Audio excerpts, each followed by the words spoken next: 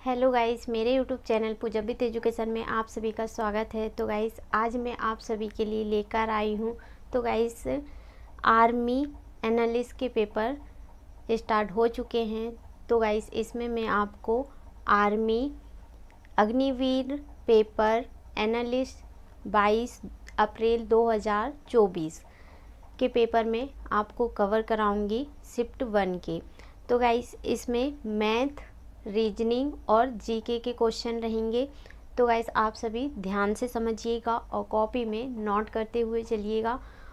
तो मैं आपको कवर कराऊँगी क्वेश्चन तो जितने भी स्टूडेंट आर्मी के पेपर दे रहे हैं तो वीडियो को ज़्यादा से ज़्यादा शेयर कीजिए लाइक कीजिए और मेरे चैनल पर नए हैं तो ज़रूर से सब्सक्राइब कर लीजिए। और बेल आइकन को प्रेस कीजिए ताकि आप सभी के पास वीडियो की नोटिफिकेशन समय समय पर मिलती रहें। तो चलिए, हम करते हैं सेशन को स्टार्ट तो इसमें फ़र्स्ट क्वेश्चन क्या दिया है? मैथ का क्वेश्चन दिया है। तो पच्चीस सौ रुपये का पाँच परसेंट और टाइम इसमें तीन वर्ष का साधारण ब्याज क्या होगा? ओके तो इजी सा क्वेश्चन है इसको। बिल्कुल बेसिक ट्रिक से मैं आपको कवर कराऊँगी। तो ध्यान से समझिएगा। ऐसे क्वेश्चन एग्ज़ाम में ज़रूर से पूछे जाते हैं। तो ये क्वेश्चन पूछा गया है इसमें 22 अप्रैल 2024 में पूछा गया क्वेश्चन है। तो इसमें 22 तारीख का शिफ्ट वन का क्वेश्चन है इसमें। तो इसमें दिया है, क्या निकालेंगे हम? साधारण ब्याज सिंपल इंटरेस्ट निकालेंगे तो क्या रखेंगे इसमें?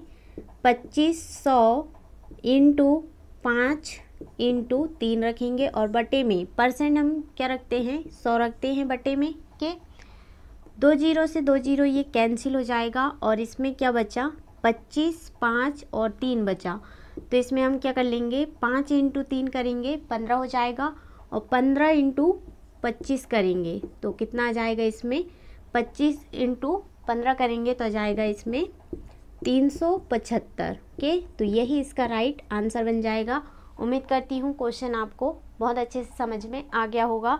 तो बहुत ही इजी क्वेश्चन था, सिर्फ़ दो सेकंड में इसको सॉल्व कर सकते हैं। नेक्स्ट क्वेश्चन दिया है इसमें। एक रेशियो तीन में है। वी की आयु पंद्रह वर्ष है और ए की आयु क्या होगी? ओके तो इसमें ए की आयु हमको पता करना है, क्या होगी? तो देखिए, इसको क्वेश्चन को सॉल्व करते हैं। तो एक रेशियो तीन दिया है इसमें। ओके तो ये ए हो गया। और ये बी हो गया, ओके? तो इसमें बी की आयु इसमें हमको कितना दिया है? पंद्रह वर्ष दिया है तो बी का हमको इसमें कितना रखेंगे? पंद्रह रखेंगे के इतना क्लियर हुआ? तो इसमें हम क्या करेंगे? पाँच दिया पंद्रह तो इसमें पाँच गुना हो रहा है के तो पाँच गुना हो रहा है तो पाँच दिया पंद्रह आ रहा है, और ए की आयु क्या होगी? तो ए की आयु हमको पता करना है तो इसमें भी हम क्या करेंगे? पाँच गुना करेंगे, ओके? तो पाँच गुना करेंगे तो पाँच एक कम पाँच ही होगा, ओके? तो इसका क्या जाएगा? पाँच, ओके? तो इतना सभी को क्लियर हुआ। अगला नेक्स्ट क्वेश्चन की ओर आगे बढ़ते हैं। नेक्स्ट क्वेश्चन, ये रहा, बीस लड़कों का औसत वज़न आठ केजी है, यदि दस लड़कों का औसत वज़न दस केजी है तो शेष कुल वज़न ज्ञात कीजिए। तो इसमें शेष कुल वज़न ज्ञात करना है। तो देखिए, क्वेश्चन को सॉल्व करते हैं। तो इसमें क्या दिया है? एवरेज का क्वेश्चन है ये। तो ये इसमें बीस क्या दिया है? बॉय लड़के दिए हैं बीस लड़के का वज़न। कितना दिया है? औसत वज़न आठ केजी है।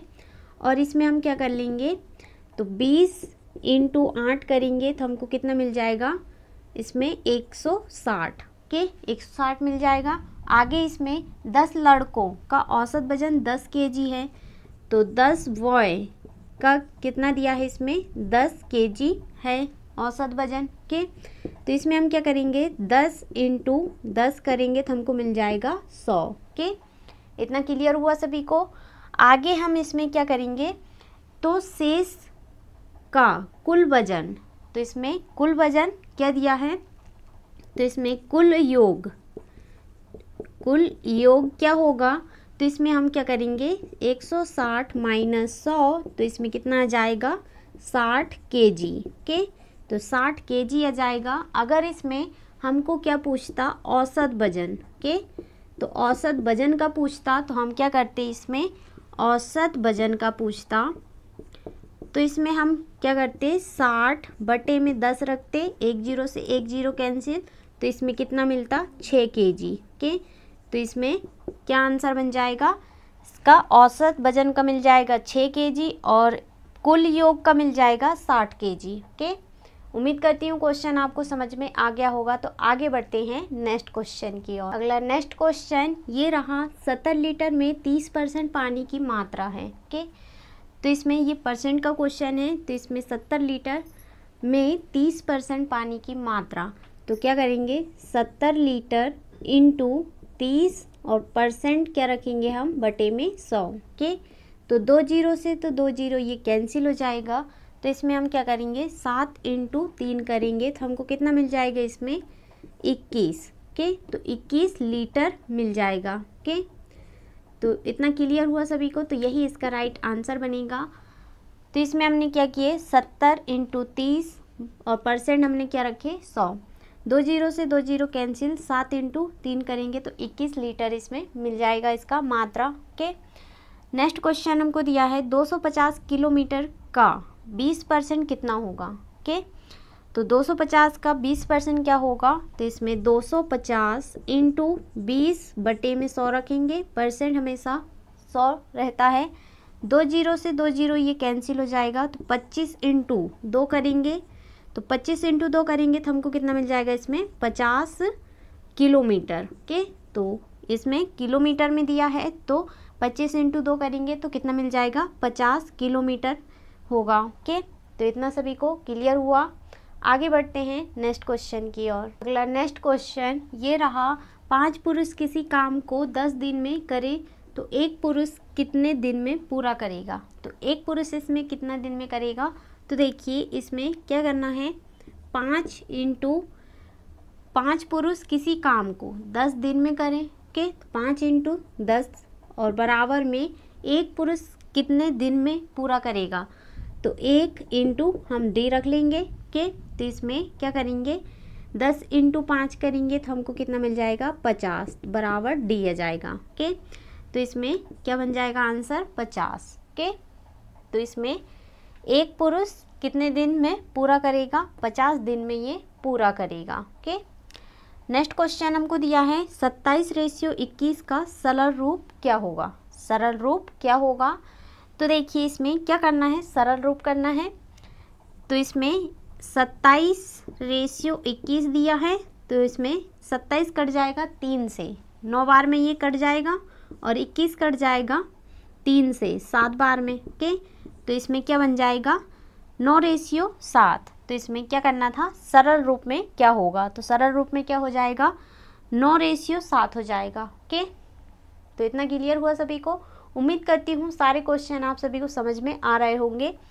तो इसमें ऑप्शन नहीं दिए क्वेश्चन में। के तो इसमें वैसे ही दिए हैं। और इसमें आंसर पचास बन जाएगा और इसमें नौ रेशियो सात हो जाएगा। अगला क्वेश्चन दिया क्वेश्चन ये रहा, आयत का क्षेत्रफल चौरासी और लंबाई 12 मीटर तथा चौड़ाई इसमें क्या होगी? ओके तो क्या है इसमें? पता करना है चौड़ाई। तो देखिए, आयत का क्षेत्रफल। ओके तो आयत का क्षेत्रफल बराबर क्या होता है? लंबाई इंटू चौड़ाई होता है। तो इसमें ये क्या है इसका? आयत है। ओके इतना क्लियर हुआ सभी को? तो इसमें हम क्या करेंगे? लंबाई इंटू चौड़ाई दिया है और क्षेत्रफल, आयत का क्षेत्रफल हमको दिया है इसमें चौरासी और लंबाई इसमें बारह दिया है इंटू चौड़ाई इसमें हमको पता करना है। तो चौरासी कट जाएगा इसमें बारह से। कितने बार में कट जाएगा? तो लंबाई, चौड़ाई कितनी आ जाएगी इसकी? सात। ओके? बारह सत्ते चौरासी आ जाएगा। तो इसमें इसकी चौड़ाई क्या निकल कर आ जाएगी? सात। ओके?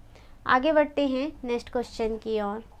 तो इसमें क्या पूछा है? अब रीजनिंग के क्वेश्चन दिए हैं। तो रीजनिंग के में सिर्फ़ दो ही क्वेश्चन पूछे गए हैं शिफ्ट वन में। तो देखिए, इसमें हमको क्या बताना है? तो इसमें हमको दिए हैं B M O sorry Q R और इसमें तीन, पाँच, सात, आठ दिए हैं और ए एम एन ओ तो इसमें दो, पाँच, चार, एक दिया है। ओके? तो हमको इसमें क्या करना है? तो इसमें हमको क्या दिख रहा है? कॉमन एम दिख रहा है। ओके?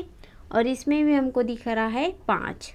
तो इसमें एम बराबर क्या जाएगा? पाँच। ओके? तो इसमें कॉमन हमको क्या दिख रहा है? एम दिख रहा है और इसमें पाँच। तो एम बराबर कितना जाएगा? पाँच। ओके? तो रीजनिंग का क्वेश्चन है तो बहुत ही इजी क्वेश्चन आया है इसमें, सिर्फ़ दो ही क्वेश्चन पूछे गए हैं। तो इसमें हम क्या करेंगे? नेक्स्ट दिया है इसमें, हमको इसमें क्या बताना है? शब्दकोश के शब्दकोश। तो शब्दकोश बताना है तो इसमें क्या होगा शब्दकोश? तो देखिए फ़र्स्ट में ही हमको दिया है, इसमें सी आ जाएगा के फोर और एम दिया है, इसके बाद में सी के बाद में एम दिया है तो तीन, और फिर उसके बाद में ओ आ जाएगा टू और फिर उसके बाद में आ जाएगा टी ओके इतना क्लियर हुआ सभी को? तो इसमें आ जाएगा वन तो फोर थ्री टू वन आ जाएगा ओके इतना क्लियर हुआ सभी को? तो इसमें हमको क्या बताना था? शब्द कोश वैल्यू बताना था। तो इसमें सबसे पहले इसमें क्या आ जाएगा? सी आएगा, फिर उसके बाद में एम आएगा फिर ओ आएगा और टी आएगा। ओके? इतना क्लियर हुआ सभी को? तो आगे बढ़ते हैं हम। आगे इसमें हमको दिए हैं जीके के क्वेश्चन ओके? तो जीके के शिफ्ट वन के क्वेश्चन हैं। तो देखिए इसमें फ़र्स्ट में दिया है उपराष्ट्रपति के तो उपराष्ट्रपति जयदीप धनखड़ होते हैं के तो धनखड़ हैं। और सेकेंड इसमें प्रतिरोध का मात्रक। तो इसका मात्रक क्या होता है? ओम होता है, ओके?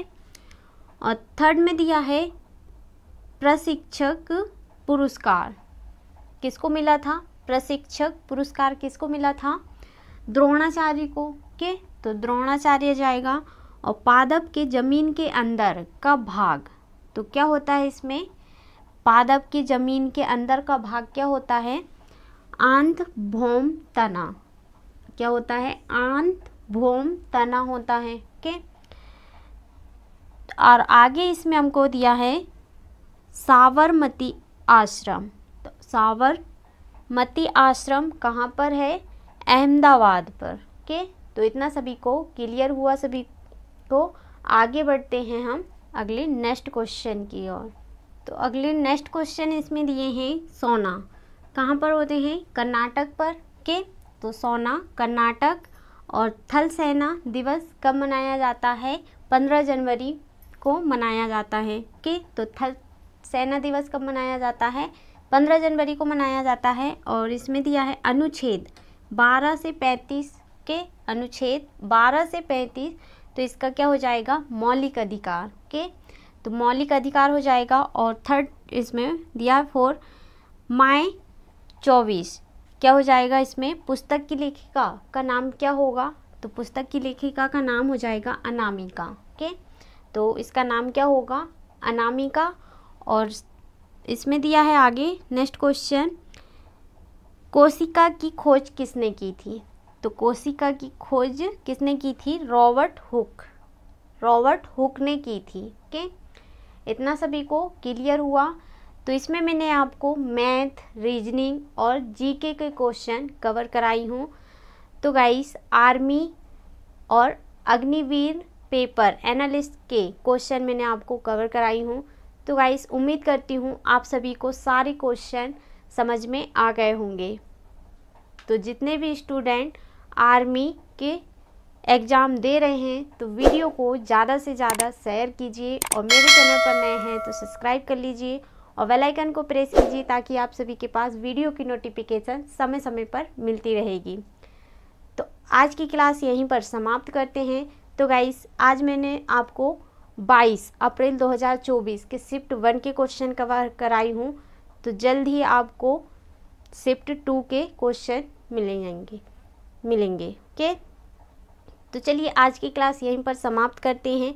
मिलते हैं अगली नेक्स्ट वीडियो में। जय हिंद जय भारत थैंक यू।